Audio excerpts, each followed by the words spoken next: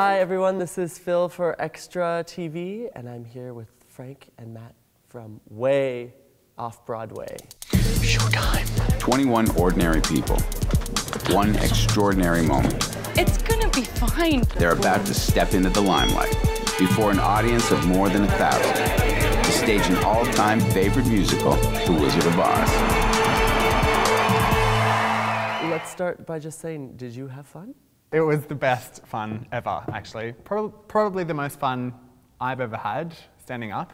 Um, it, was, it was really good. And we had a great time. We met so many nice people on the set. Frank and I, I think, naturally kind of found each other quite quickly in the rehearsals. Did you gravitate? Did well, the there was gays also gravitate? definitely the gays gravitated. We knew the gays right off the bat, but there was also like there was there was also like the leads and sort of the chorus part. So me and Matt were more in the chorus, and we drove home together every day after oh, rehearsal. Oh, that's great. So we had huge bitch fests, bitch fests in the car on the way home. So once the mics came off, we went to town. Was it like noticeable? It's off, and it's like, Oh, okay, as soon as let's we got in the go. car, we are like, "Did you see what she did today?" Yeah, yeah. Great job, Matt. How was it? I had okay. such a blast. Was it great. fun? Yeah, I'm so excited. Did you like it at Coup? Yeah, it was great. You know, as a teacher, I thought it would be helpful. I'm the head of our Gay Straight Alliance at school, and I'm really pro-gay at school and very active in, in our community. So I really did want to make sure that I made uh, set a good example. While away the hours, conferring with the flowers, consulting with the rain.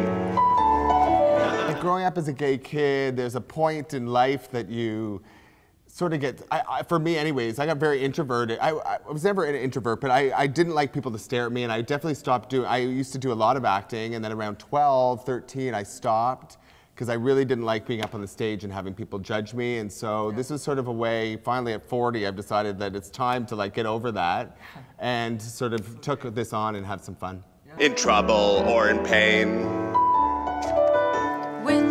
With the thoughts you'd be thinking, you could be another Lincoln if you only had a brain. Were there any behind-the-scene hookups that you can?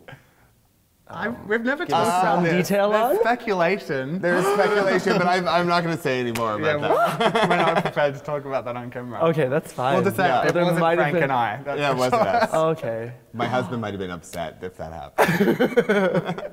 Okay, so the show is based on you putting on The Wizard of Oz as a musical. Uh, Were you ever a fan? Are you still a fan after going through this?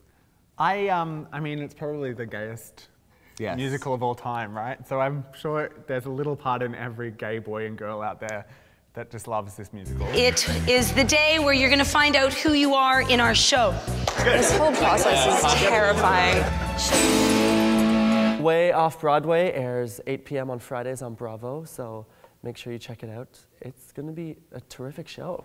I can't wait to see it, you guys.